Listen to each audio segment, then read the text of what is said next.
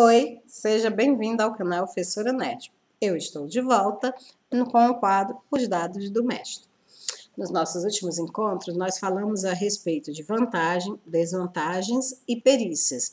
E eu fiquei de retornar com a lista das perícias do Manual Alfa explicadas passo a passo. Se você também está interessado em saber quais são e como elas funcionam, vem comigo.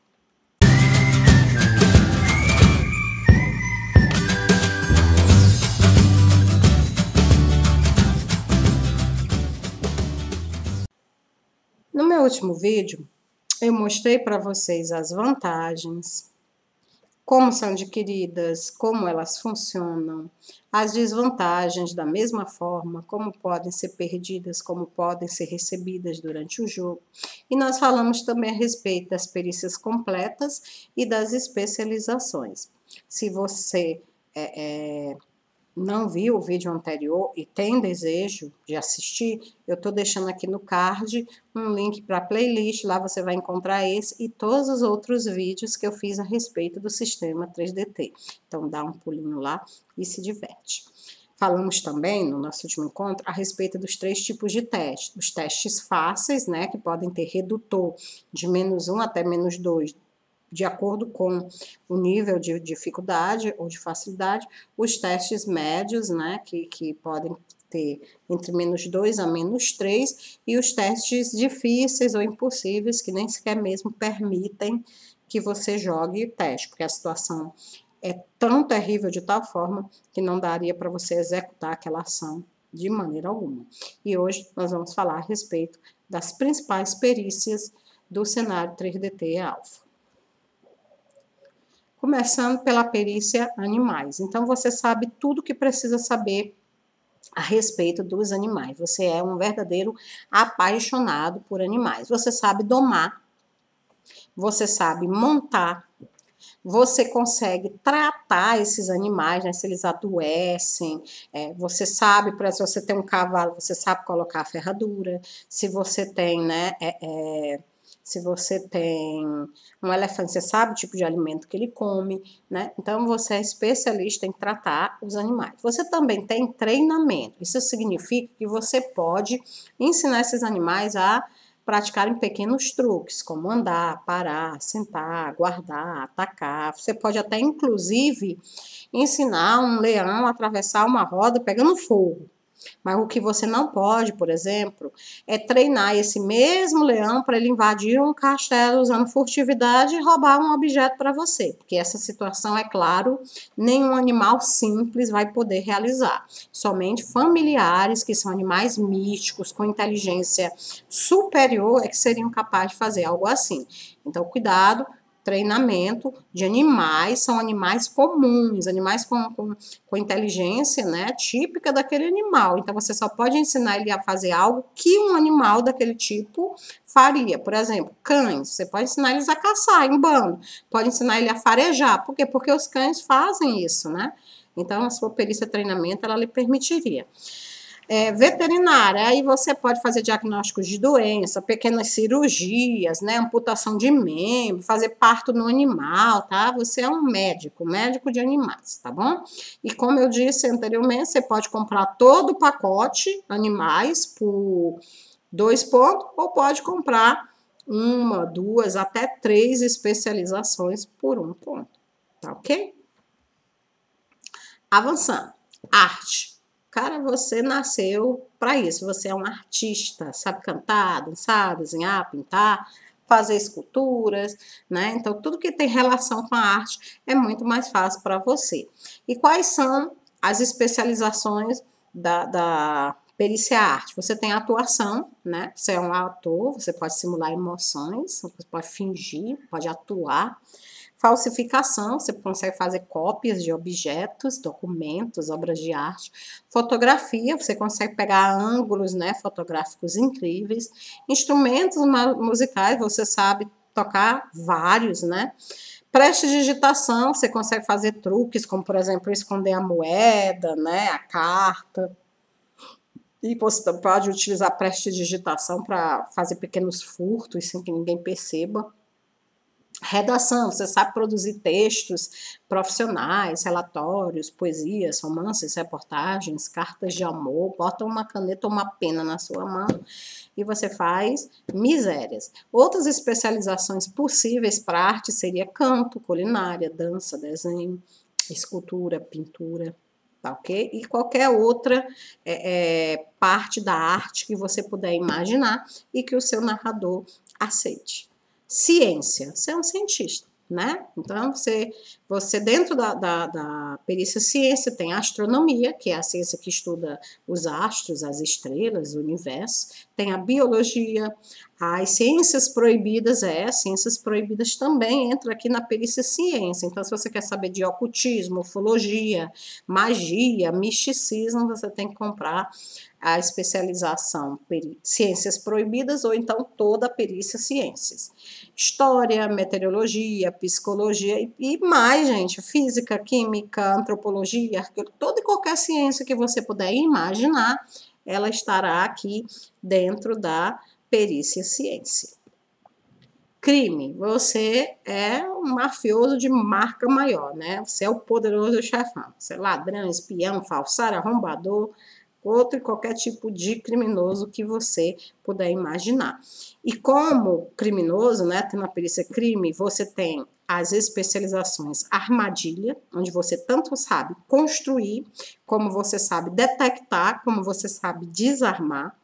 Arrombamento, né? Você consegue forçar portas, abrir fechaduras. Criptografia, você decifra tanto decifra como você cria mensagens criptografadas. O disfarce, né? Tanto é, você sabe parecer com outras pessoas, né? Você consegue se disfarçar de outras pessoas. Falsificação, você é capaz de criar cópias de cartas, documentos, obras de artes. Furtividade. Você consegue penetrar em locais, mover-se em silêncio, sem ser vista, entrar e sair sem ser percebido. Intimidação. Você convence as pessoas a fazer aquilo que você quer através de coação e de medo. Punga, você bate carteiras. E rastreio, você sabe seguir pistas, pegadas, né? Encontrar pessoas. Então, essas são as principais. Se tiver alguma outra que envolva crime, Fala para o teu narrador que se ele aceitar, também está dentro desse pacote aqui. Idiomas, você é um poliglota. Não, não estou xingando você. Poliglota é a pessoa que fala várias línguas ao mesmo tempo. Não é o meu caso, que mal sei português. Mas, enfim, aqui tem alguns exemplos de especializações para idioma, né? Código Morse, você sabe, tanto transmitir como ler mensagens compostas por pontos e traços. A criptografia, mesma coisa lá, sabe criar e sabe decifrar. A leitura labial, né? Tanto você sabe falar como você sabe, você sabe ler, né? Linguagem de sinais, essa que tanto você sabe usar a linguagem como você sabe é, decifrar quando alguém está usando. E outras especializações, inglês, francês, italiano, alemão, espanhol, a língua lá do, do da Terra-média, a língua né, lá de, de, de, do reino das sombras, a língua do universo paralelo fulano de tal, não importa. Toda e qualquer língua que possa surgir na campanha, se você comprou a perícia em idioma completo, você deve saber alguma coisa a respeito dessa língua. E se você comprou só a especialização, aí não, né? Aí só aquelas que você colocou, que você escolheu na especialização. Investigação. Você é um detetive, você é um investigador. Conhece técnicas para investigar, seguir pegadas, procurar impressões digitais, usar disfarce, tudo que um investigador é capaz de fazer, meu amigo, você também faz. E aí, dentro da, da perícia investigação, você tem as especializações armadilha, é, você constrói, desarma, arrombamento, você força portas, abre fechaduras, criptografia, você sabe produzir, sabe decifrar, disfarce, falsificação, furtividade, interrogatório, intimidação, rastreio. Olha quanta coisa legal dá para você comprar só com dois pontos. Ou se você não quiser, quiser só algumas delas, né? Você compra só as especializações separadas, tá bom? Máquinas, pois é, se você estiver no mundo futurista, essa perícia máquina vai fazer de você o cara, né? O bichão da, da, da história. É, dentro da perícia máquina, né? Você pode envolver tanto máquinas como veículos, computadores, você sabe operar, pilotar, dirigir, construir, consertar, qualquer coisa que tiver ligação com as máquinas, claro, né? Você não, você não consegue falar com elas, né? E nem essas coisas fantásticas, mas tudo que, que for comum a pessoa aprender sobre máquinas, você aprendeu. Então, você com a perícia máquina você consegue construir e desarmar armadilhas. Computação, você sabe operar computadores, navegar na internet, quebrar senha, penetrar em sistemas protegidos. Seja, isso é um hack. Condução também, você sabe dirigir todo e qualquer veículo terrestre, como carro, ônibus, moto. Eletrônica, você sabe consertar, mas não construir, tá? Aparelhos eletrônicos, como telefone, rádio, computador. Engenharia, você sabe construir, mas não consertar máquinas, veículos, armas, aparelhos eletrônicos. É, gente, eu também sempre achei essa história muito estranha. Se eu sei construir, né? Imagina consertar. Mas é o que diz lá o manual 3DT, tá? É o que diz a maioria dos livros de RPG, que a maioria, é que na maioria das vezes o engenheiro ele sabe construir, mas ele não sabe consertar. Vai lá entender por quê. Mecânica, do mesmo jeito, né? Sabe consertar, mas não sabe construir. E na, só a diferença entre eletrônica e mecânica é que enquanto mecânica você está trabalhando com a parte física dos carros, na eletrônica você trabalha com a parte elétrica. E a pilotagem, né, que é como você sabe pilotar aeronaves, barcos, veículos, enquanto a condução é para todo tipo de animal, ou todo tipo de veículos terrestres, animais.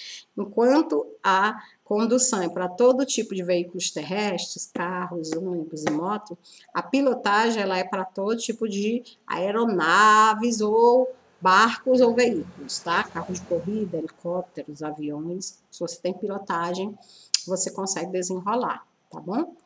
Manipulação. Pois é, você é uma pessoa cheia de truques, né? Você sabe, como ninguém, obrigar as pessoas a fazer aquilo que você quer. Aqui nós temos algumas sub, é, subdivisões da perícia manipulação, algumas especializações, mas existem outras, tá? Que você pode lembrar aí e falar para o seu narrador. É, aqui eu coloquei hipnose, interrogatório, lábia, intimidação e sedução, né? Hipnose você consegue afetar a mente de uma pessoa, né? Você consegue entrar na mente da pessoa em transe hipnótico e, e é, obter informações e até mesmo obrigar essa pessoa a fazer algumas ações para você. Interrogatório, você tem habilidade com perguntas, você consegue exercer uma pressão emocional que faz com que a pessoa acabe te, de, te dizendo aquilo que você quer, mesmo sem ela querer. Lábia. Na lábia você usa a sua intimidação. Você usa é, ou bajulação, conversa mole, ou ameaça para obrigar a pessoa a fazer aquilo que você quer. Intimidação você conversa usando ameaça, né, e, e, e, coação, medo. Enquanto na lábia você usa bajulação, conversa mole, na intimidação você usa ameaças, coação. E por último, a sedução, né, quer dizer, você sabe fingir sentimentos românticos pela vítima, né, ou sabe, assim, fazer com que a vítima sinta esses sentimentos românticos em relação a você. Medicina. Aí, medicina, né? Você é médico e você comprou a, a, a perícia completa, você não é só médico, você é o Chuck Norris dos médicos. Você faz cirurgia, diagnóstica doença, você presta primeiros socorros, você é psiquiatra, veterinário, é até veterinário. Então, quer dizer, tudo que um médico de gente ou de bicho possa fazer, se você comprou a perícia completa medicina, você é capaz de fazer também. Sobrevivência. Sobrevivência, você sobrevive em qualquer lugar. Você sabe caçar, pescar, seguir pista, encontrar comida, abrigo. Né? Você não ia ter problema nenhum em ficar numa ilha sozinho. Tá? E as principais especializações de sobrevivência são alpinismo, você sabe escalar montanhas, subir em muros altos, árvores, edifícios. Armadilha, você sabe construir armas, desarmar, armadilhas, explosivos, aparelhos de detecção. Arquearia, você sabe usar arco e flecha. Furtividade, sabe esconder, mover-se em silêncio, sem ser visto. Meteorologia, você sabe prever o clima nos dias, horas seguintes. Navegação, você sabe, navegação você sabe se é, se orientar, né? Mesmo sem uma bússola, você consegue se orientar pesca, você sabe pegar peixes, né, com linha, anzol, rede, arpão, rastreio, você sabe seguir pistas e pegadas. Existem outras, é, outras especializações que você puder pensar, e aí o seu narrador vai dizer se ele aceita ou não naquele mundo de campanha. Bom, essas são todos os pacotes de perícias completas que existem no Manual 3DT Alpha, tá? É, se você precisa de uma perícia, seja ela qual for, ela está dentro dessas que eu mostrei para você. Não existem outras, são somente essas. Eu vou falar, para encerrar o vídeo hoje, a respeito dos efeitos de vantagens e desvantagens nos testes de perícia, tá? Então, algumas vantagens ou desvantagens, elas podem afetar os testes de perícia, e elas podem afetar positivamente ou negativamente, ou seja, elas podem fornecer bônus ou elas podem fornecer é, é, é, desvantagem. Claro que as listas que eu estou colocando aqui, ela não é definitiva, dependendo da situação, o narrador, ele pode é, acrescentar ou retirar determinadas desvantagens, que ele não acha muito interessante para a campanha dele. É, vamos pegar aqui como exemplo aparência inofensiva. A vantagem de aparência inofensiva significa que ninguém, ao olhar para você, considera você é, perigoso, tá? Então, todo mundo que olha para você subestima você, ele acha você é, insignificante, ele não acha você inofensivo, né? Digamos assim. Então, ter aparência inofensiva, ela dá bônus de mais um na lábia, você consegue labiar melhor a pessoa, e, e na sedução também, vai ser mais fácil de seduzir alguém. E ela dá menos dois em interrogatório e intimidação. Isso porque ninguém te leva a sério, né? Então você pode passar o dia todo ameaçando, fazendo pergunta, ninguém vai te levar a sério. Então, cuidado quando você for comprar aparência inofensiva, dependendo do tipo de personagem que você pode fazer, pode ser um tiro no pé. Arena, ambiente especial, né? É, são vantagens que elas dão mais dois em qualquer teste de sobrevivência no local que você escolheu. Por exemplo, você tem arena na floresta, então você tem mais dois em sobrevivência na floresta. O seu ambiente especial é a água, né? Se é uma sereia, vamos supor. Você tem mais dois no teste de sobrevivência no mar. E por aí vai. Código de honra dos cavalheiros, quer dizer, você você não luta contra mulheres e nem permite que outras pessoas ataquem, né? Mulheres. Então, por você ser um cavalheiro, você ganha mais um nos testes de sedução. Código de honra da honestidade. Cara, tu não mente, né? Então, tu não mente e nem permite que ninguém faça isso. Se alguém mentir perto de você, você vai falar a verdade. Por ser terrivelmente honesto, você acaba sofrendo uma penalidade no seu teste de manipulação. Todos os seus testes de manipulação serão por menos dois. Boa fama. Cara, tu é conhecido, tá? E bem quisto por onde tu passa. Se tu tem boa fama, tu ganha mais um nos testes de lábia e sedução, né? Porque vai ser fácil para você convencer as pessoas a fazer o que você quer. E você ganha menos dois em interrogatório e intimidação, ou seja, a mesma coisa que aparência inofensiva. Genialidade. Cara, genialidade é uma das, das vantagens que eu gosto muito de adquirir. Por quê? Porque a genialidade ela dá mais dois em todas as perícias. Você é um gênio, você domina de tudo um pouco, de tudo você sabe um pouco. Você, se você não sabe, você aprende, ó, rapidamente, tá? Porque você é genial. Então, genialidade, mais dois em todas as perícias. Inculto, inculto, você não sabe ler, você não sabe escrever, né?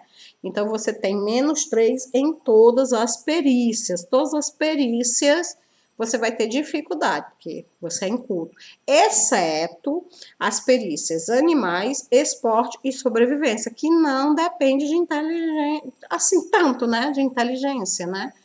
Essas perícias, animais, esportes e sobrevivência, elas são inatas, você não precisa ler sobre elas, você não precisa estudar sobre elas, você aprende elas na prática. Então, mesmo você sendo inculto, você não vai sofrer redutores nessas perícias.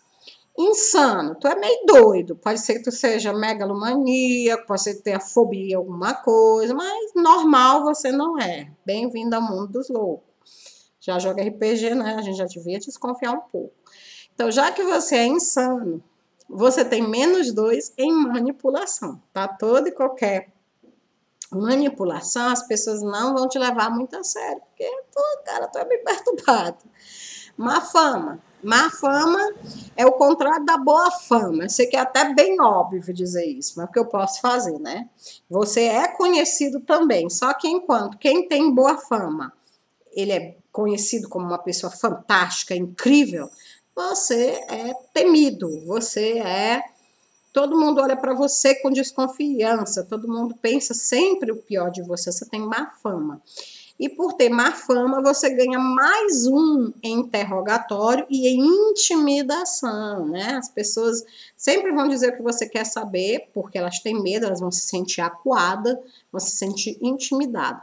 Em compensação, você perde um, você tem menos um em lábia e em sedução. Não dá muito para você labiar e seduzir as pessoas, não, porque você você causa né, terrores por onde você passa, você tem má fama. E por último, eu vou falar sobre monstruoso, né? Pode ser que você seja monstruoso porque você é de uma raça diferente, pode ser que você seja monstruoso porque você tem alguma cicatriz marcando né, o seu rosto, ou alguma deformação. O fato é, se você tem a desvantagem monstruoso, você ganha mais um em interrogatório e em intimidação e você perde menos dois em lábia e em sedução. Legal, né? Então, esses efeitos é muito importante que o narrador conheça, domine e, acima de tudo, utilize esses, esses efeitos na sua campanha. Utilize. Por quê? Porque as pessoas, quando compram as vantagens e desvantagens, elas precisam saber onde elas estão se metendo. Então, emular as consequências de tal vantagem ou de tal desvantagem no mundo do jogo vai tornar a sua campanha mais divertida, mais interessante e mais atraente. Então, é isso aí. Espero que essas dicas possam lhe ajudar. Agora que você está narrando 3DT, é, no nosso próximo encontro, nós vamos finalmente falar sobre combate, né? Vamos falar sobre combate em 3DT. E é isso aí curte, compartilha esse vídeo. Se é a sua primeira vez no canal, o card aí vai te levar para a playlist, onde você vai poder ver os outros vídeos. Se inscreve, ativa o sininho para você receber o nosso próximo vídeo com as regras de combate em 3DT. Até lá, fica com Deus. Tchau.